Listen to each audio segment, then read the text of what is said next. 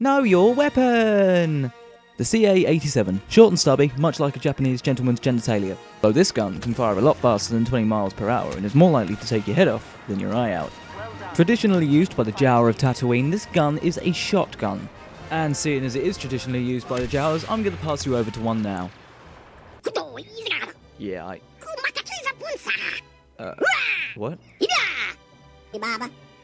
Yeah, no, I don't know what that... Hey, you're just reading off the screen. Okay, will someone please shut him up? Hey, you. Get over here. Thank you. Now, where was I? Oh yeah, CA-87.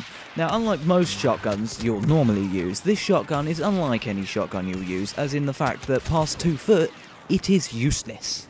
The stats for this gun are absolutely awful, but don't let that fool you, because it is awful. When firing this weapon, it sounds something like a wet fart, and a wet fart that you can only fire three times before it overheats. And then the overheat sounds something like a mother who's very disappointed in her child.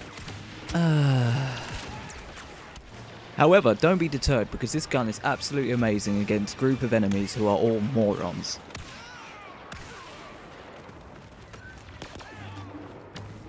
You suck! If you want to get creative with the class, add a jetpack and explosive shot, even if it's just to see the guy catapult off into outer space. Bye, have a great time. Okay, so here's a quick rundown of all the major points to this gun. Don't aim, just shoot. And, oh, that's it. Okay, and that has been the CA-87. Remember, knowing your weapon is the first step to holy crap, 30 kills? Gee!